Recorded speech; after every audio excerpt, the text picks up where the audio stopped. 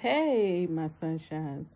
Thank you very much for tuning into Life of Sunshine on Wheelz. It's your girl Shayna, and I want to say thank you very much for taking time out of your day just to spend a little bit with me. Minus the sparkles on my chest. Let's see. I just want to talk to you a little bit about how my day been going and what I have been doing. I talk with both doctors, my specialists, and things like that, and my primary care doctor, and to let them know what was going on, you know, after my little trouble. But overall, I made it in the right direction. It's still pain, especially when I have to do those breathing exercises. It is painful, but hey, I'm a fighter. No pain, no gain. So I'm not going to complain because it could be a lot worse. Yes, it could be broken into two, needing to have surgery, but it's not. So I'm not going to complain. We have a plan. Well, the doctors came up with a plan for me.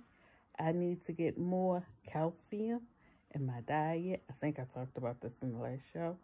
And continue to do my breathing exercises. And boy, do they hurt. They hurt. And I want to explain to you all what the chest feel like. If you ever had a chest cold and you know you get that burning sensation after you cough, that's the feeling I have. And then if I recline my bed all the way back, I can't breathe and it feels like my chest is heavy. So I sleep halfway up so it won't be too much on my breathing on my chest. My Hoyer lift has been charging, so hopefully after this week is up, I don't know, I may be able to sit in my chair, but we shall see. My left side, especially my arm area up at the top, have to get that worked on because I haven't been moving it too much because it hurts. That side where the fractured rib is, I have to do a high calcium diet.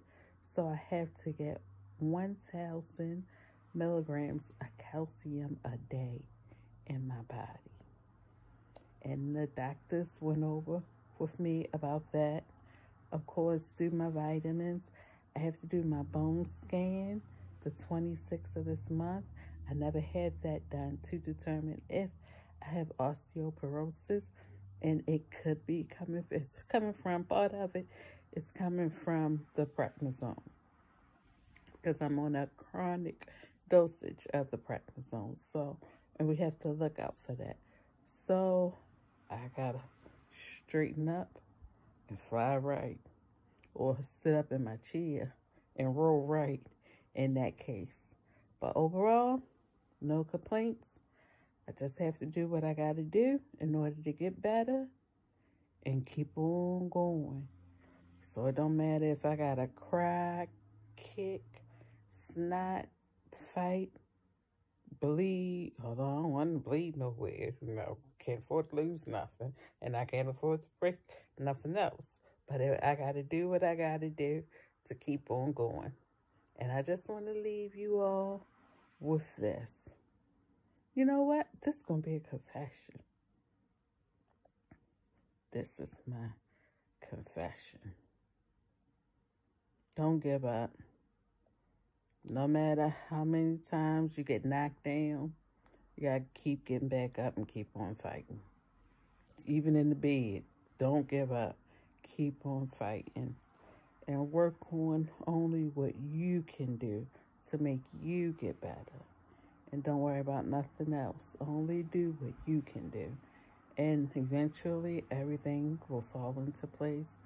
I don't feel sad about the situation. I'm not mad. I'm not angry. I'm not upset.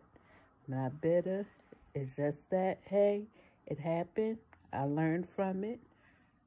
I learned what's going on with my body in the process, and I now know what I have to do to get better. So this is not it. I'm going to keep going. And of course, you're going to see your girl real soon.